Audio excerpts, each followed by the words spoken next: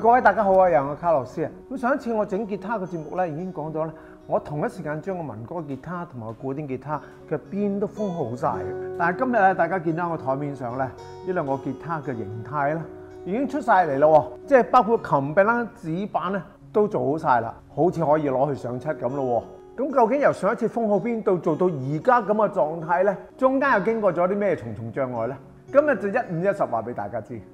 嗱，彈古典吉他嘅人都知啦，因為尼龍線嘅張力唔係太大咧，所以古典吉他咧係冇調節杆嘅。但係唔代表經過長時間咧，古典吉他嘅柄唔會攣喎。所以我都喺中間咧加咗兩條嘅碳纖落去，唔排除啊將來我都會學民歌吉他咁加埋條調節杆上去，然後先至冚指板，又有何不可呢？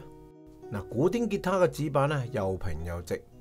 唔需要點打磨就可以黐上去琴柄度。跟住再將呢啲品絲咧逐條逐條打入去咧就 O K 噶啦。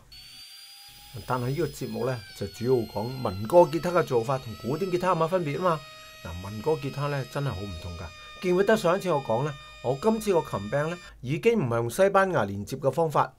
而係需要將琴柄同埋琴身之間咧做一個魚尾榫。所以大家咧會見到我先喺琴柄嗰邊咧就用呢個模具攞咗個魚尾榫嘅 tenon 先。至於喺琴身嗰邊嘅 mortise 就自然有另外一套模具啦。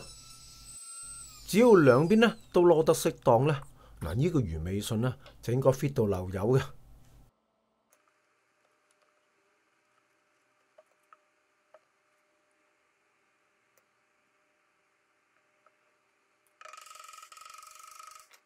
好啦，跟住我哋咧就要嚟講下民歌吉他嘅指板啦。嗱，民歌吉他嘅指板咧同古典吉他唔同嘅，佢個表面咧應該有一個弧度嘅，而一般咧我哋就用 R 十六嘅一個弧度。咁如果買翻嚟嘅指板係平嘅嘅話咧，咁就要經過多番嘅打磨先至可以做到呢個弧度啦。嗱，既然指板係有弧度嘅，咁所以揼落去嘅品絲咧，亦都有一個弧度嘅，所以咧所有嘅品絲咧都係經過製練過嘅，全部都係 R 十六噶。除咗結構性之外咧，民歌吉他嘅指板咧，連啲裝飾性都同古典吉他唔同嘅喎。大家如果之前有留意我做古典吉他嘅節目咧，就會發覺指板側邊係雙木條嘅，但係民歌吉他咧就多數會黐一個 ABS 嘅膠條嘅。此外啊，剛才都提過啦，民歌吉他咧，因為個弦線咧個張力比較強啊，所以中間咧係要裝一條調節桿嘅。咁要將調節桿嵌入去呢個琴柄咧，就必須要好小心攞條坑出嚟，否則就前功盡廢噶啦。安裝好調節桿之後咧，先至可以將剛才預備好嘅纸板冚上去。嗱，搞咗咁耐咧，我先至將呢個民歌吉他嘅進度咧追翻上呢個古典吉他，再可以兩條魚一齊煎啦。嗱，之後咧，我就將兩個吉他嘅花邊咧都做一啲修飾同埋打磨。然後咧就係兩個琴嘅琴橋啦，mark 位置，同埋粘好遮蓋用嘅美紋膠紙啦。嗱，由於呢個民歌吉他咧，我哋做嚟咧送俾一位重要嘅人物嘅，咁所以咧我就想喺個琴頭咧鑲嵌咧呢個吉他嘅主人嘅 initial 啊。咁咧今次我採用嘅咧就係用激光機挑刻嘅方法，就將兩個粒字咧就挑喺玫瑰木板上面，然後咧再用楓木挑出凸字。再镶嵌落去玫瑰木板上面，一個好有個性嘅琴頭就成型啦。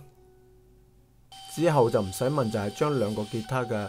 上上下下、左左右右每一個角度都作一啲適當嘅打磨啦。嗱，咁而家喺成個打磨過程裏邊呢，我都係用緊一百二十號嘅木工砂紙嘅。用完機器打磨之後呢，我仲要用人手打磨一啲機器打磨唔到嘅地方，令到兩個琴嘅每一處地方呢，都係平滑冇凹凸嘅。